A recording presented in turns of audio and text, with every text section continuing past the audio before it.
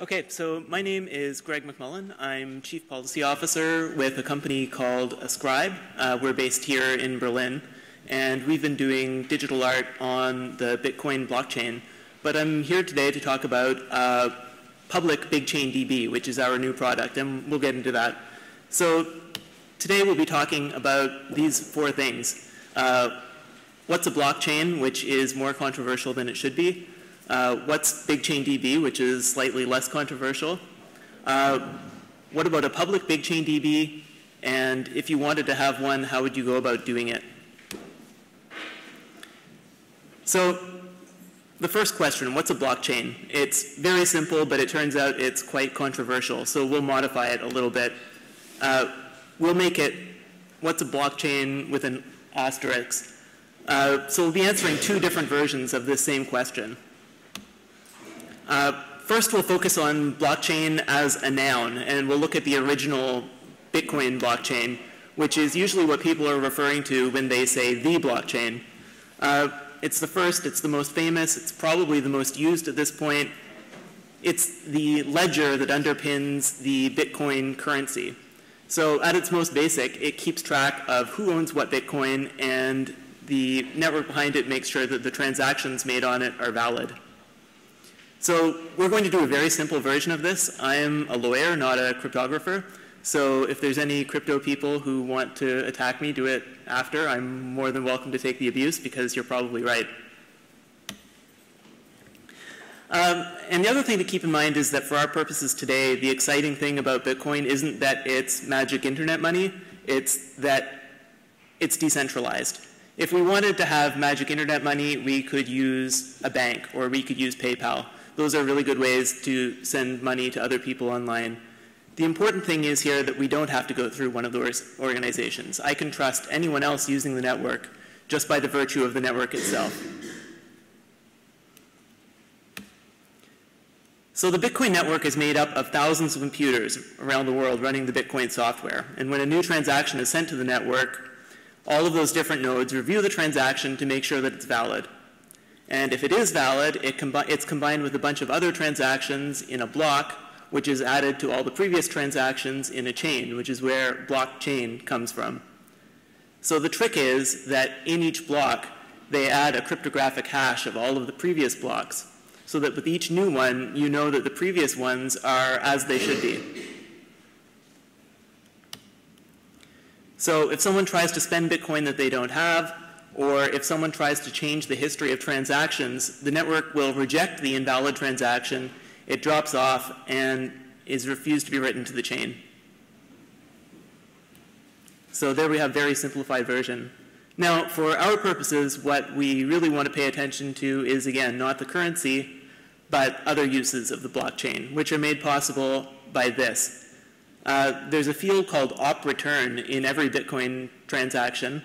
Uh, it's meant to mark them as invalid, but it can also store any other kind of data that you want, any string. It's a pretty small amount of data, but it's pretty useful because it means that suddenly you can use this ledger for cryptocurrency as a database that brings these really great secure features to any kind of data you want.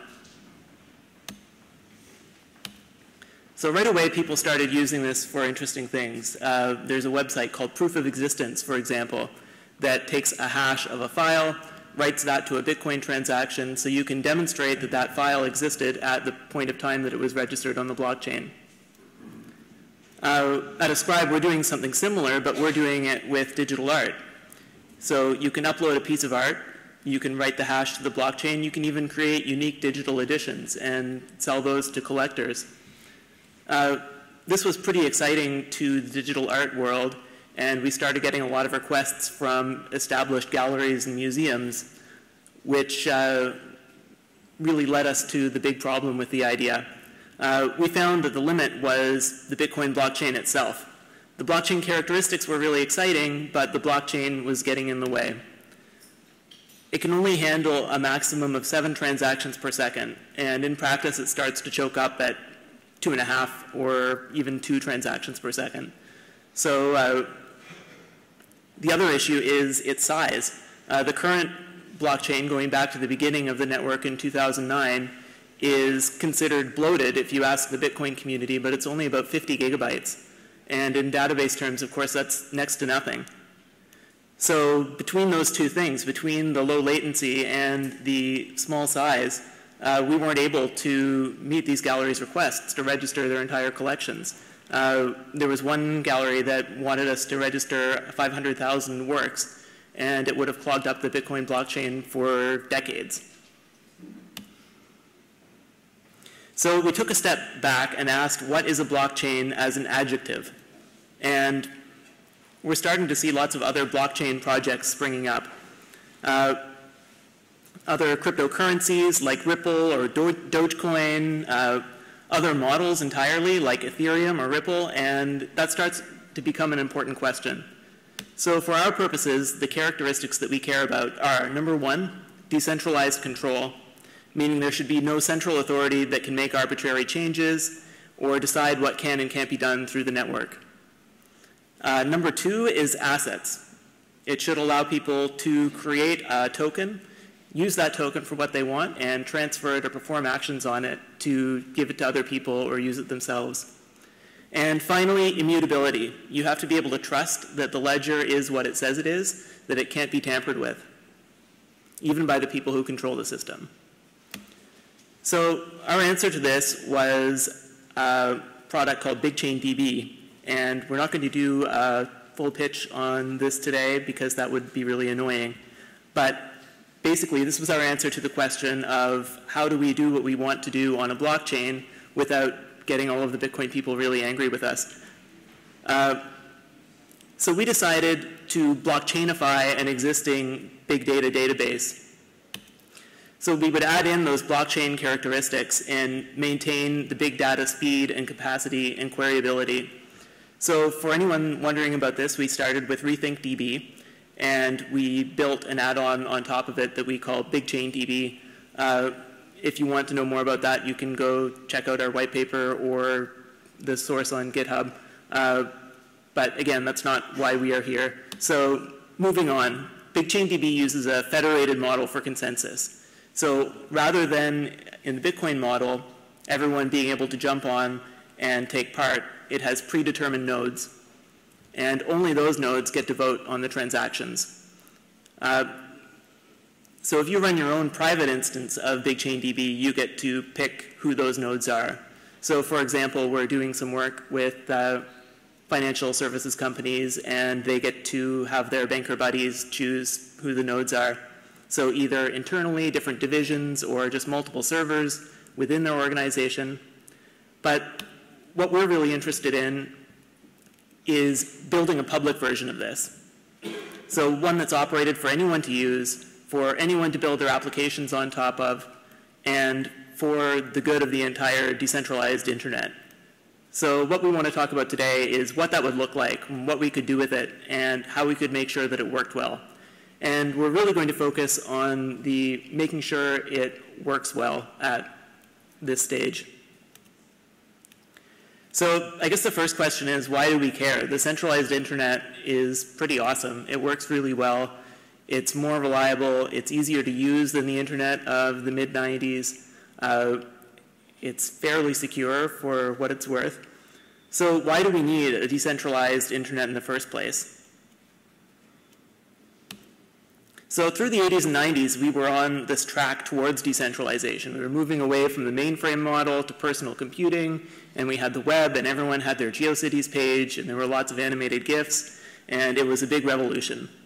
And we even declared independence of cyberspace, and that these, we thought that these weary corporations and governments would just get out of the way, and everyone would live peacefully online in a society of the mind. Uh, but it didn't exactly work out like that. So centralized platforms have dominated the internet. And these new intermediaries that have come in are just as powerful as the ones that they've replaced. And even though they talk about freedom of expression and these values, they, they have shareholders to keep happy, and they regularly censor content on their platforms. And sometimes it just seems ridiculous. Like earlier this year, uh, Facebook removed photos of Copenhagen's Little Mermaid for showing too much skin. And their response to this was, some audiences within our global community may be sensitive to this type of content, which is clearly upsetting content. So thankfully, they have solved our problem. Uh, but we're living in this bubble of centralized content where the lowest common denominator of law, of morality, is being allowed to decide what we can do on our systems. Um, another example is the Nym wars. It's about who controls our identity. Uh, in the Nym wars, Facebook and Google were fighting really hard to enforce their real name policies across uh, Google Plus and Facebook. And it had the, its own share of silliness, kind of like the Little Mermaid, uh, like Salman Rushdie being forced to provide his photo ID and change his name to what was listed on his passport rather than what he has gone by to millions of people around the world. Uh, so it can be silly, but it can also have really damaging effects. So those restrictions are insulting at best and discriminatory at worst and dangerous to people who have chosen to live under another name. But if you want to take part in the centralized internet, you have to live by their rules. And another problem is that the central powers make a very tempting target for other sources of power. So even if they're acting totally benevolently, having the single point of failure is a pretty major concern. Uh, we might think of authoritarian regimes targeting sites for censorship in China or Iran, but it's not just totalitarian regimes. Uh, just yesterday, a Brazilian judge shut down WhatsApp for three days for refusing to provide encrypted information that it itself couldn't read. Uh, the same judge had earlier detained a Facebook executive for the same thing. Uh, recently in France and outside of France, we've seen right to be forgotten or right to erasure decisions uh, being enforced that would see Google having to wipe search results, uh, not just in France, but across Europe.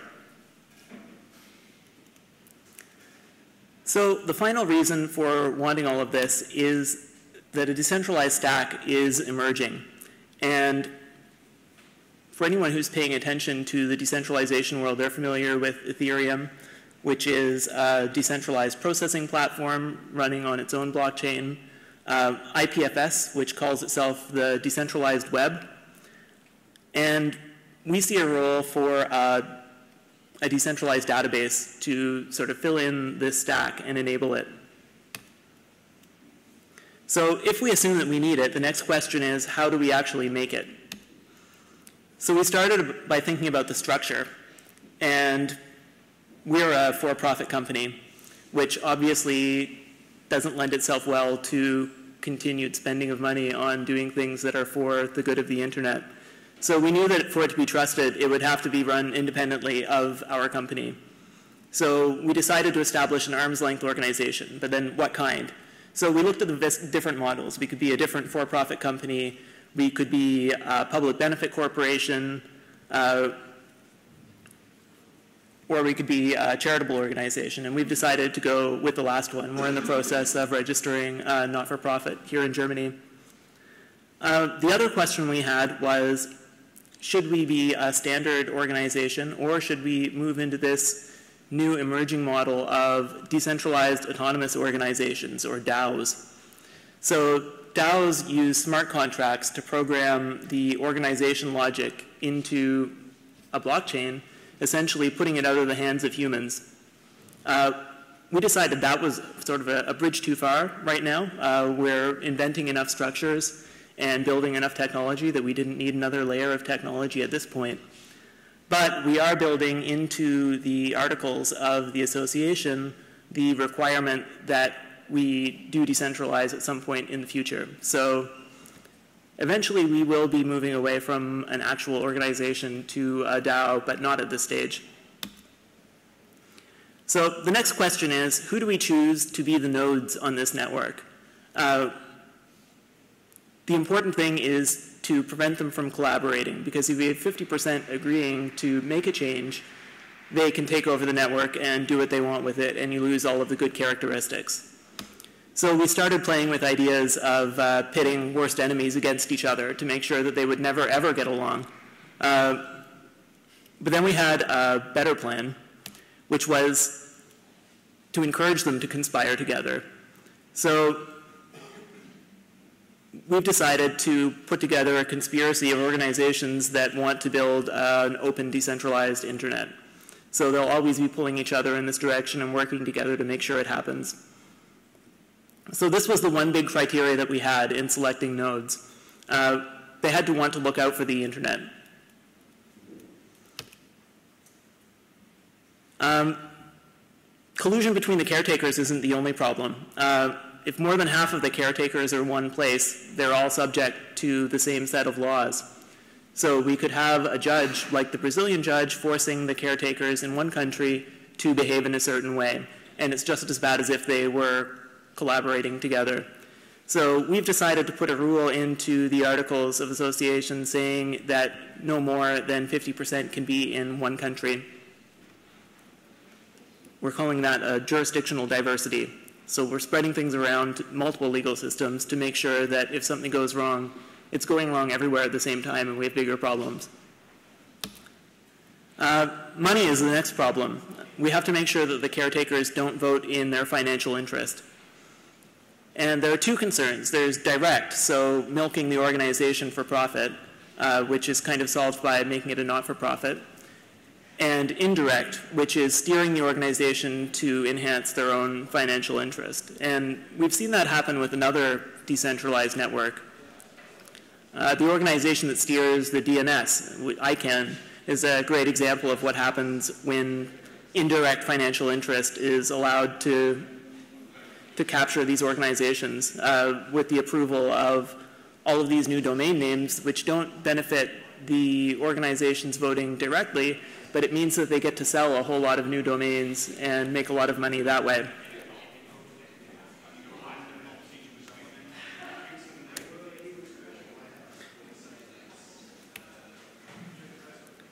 So to avoid that, we are making sure that half of the organizations have to be not-for-profit at very least. Uh, so fewer than 50% are allowed to be for-profit organizations, which doesn't completely solve the problem, but at least points us in the right direction. And finally, how much will this cost? We had to think about how, how it would be self-sustaining, how it would pay for itself. And the model that we've come up with is a pay-per-use model where most users fall under a free tier, heavy users pay for transactions and for storage.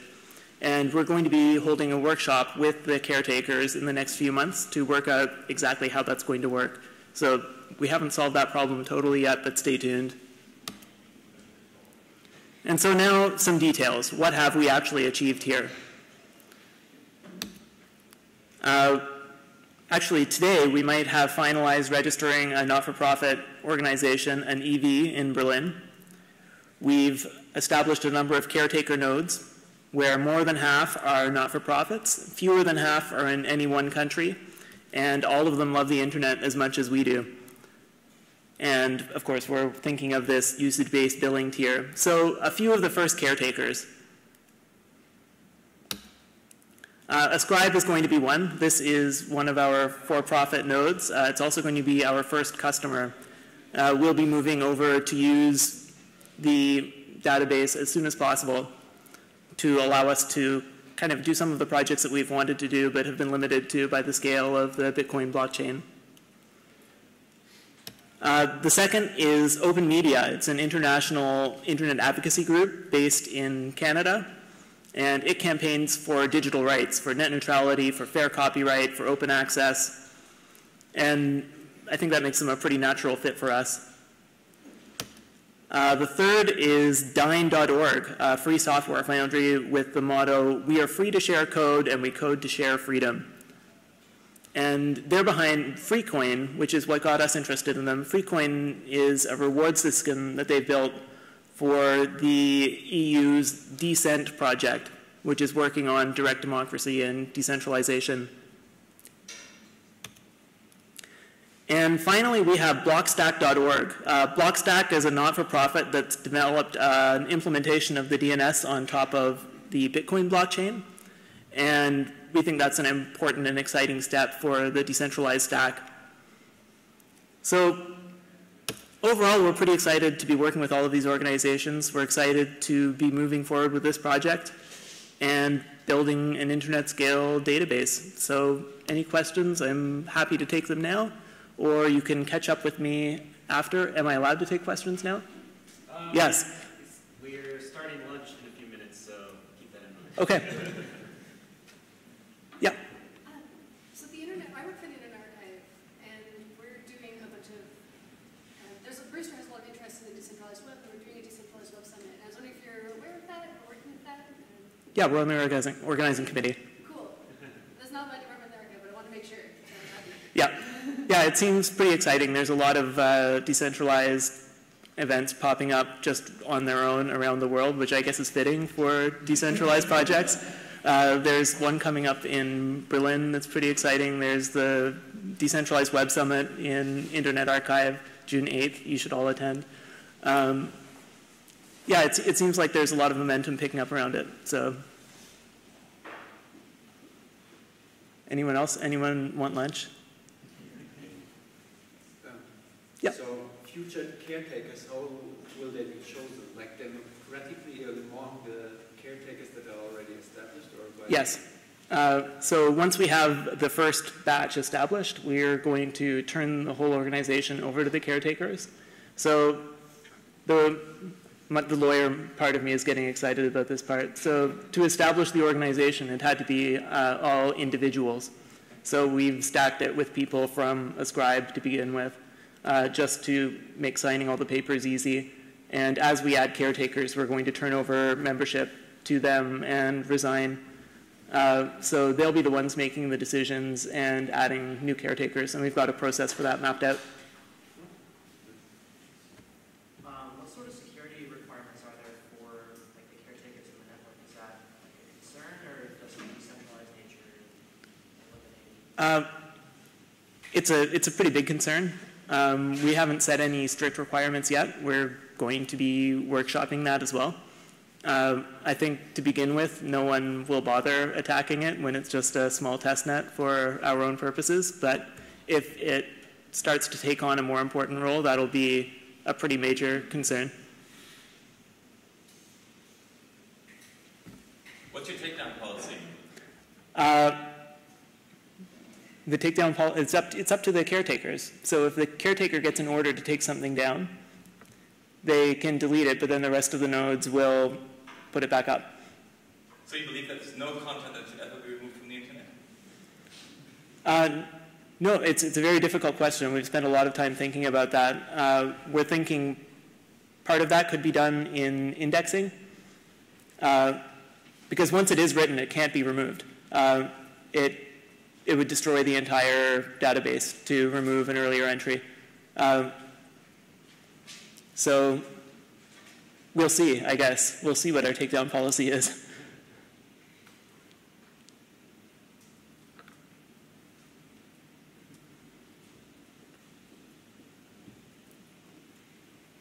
All right, I guess we're moving on to lunch. Thanks, everyone.